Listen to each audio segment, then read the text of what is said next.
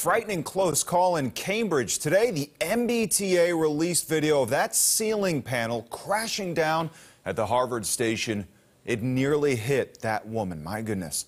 WBZ's Tammy Mutasa is live in Cambridge. And Tammy, the T actually taking immediate steps to protect passengers. Chris, that's right. They are. And it's pretty crazy how that woman almost got hit by falling debris. And officials recognize that. That's why they say for everybody's safety, changes will be happening.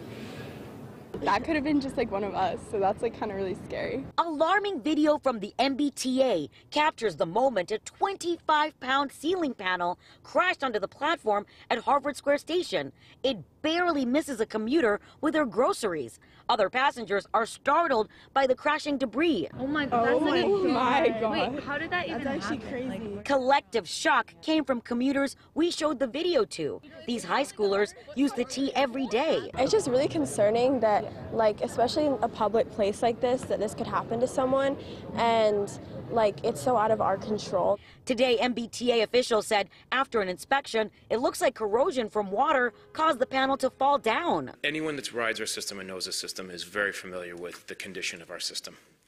We have to be able to inspect our system to keep this system safe. And officials don't want to take chances. Already 10 ceiling panels have been taken down at the Harvard Square station.